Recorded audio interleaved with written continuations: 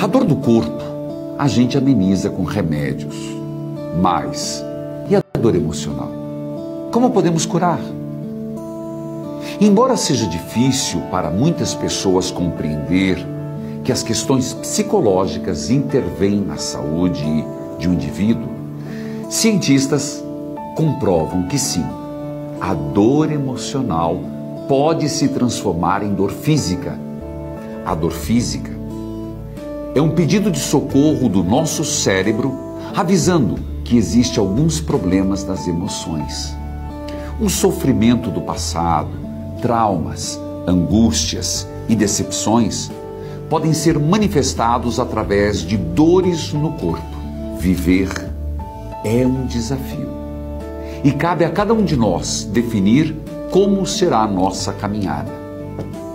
Você já teve uma dor física causada por uma tristeza ou uma perda?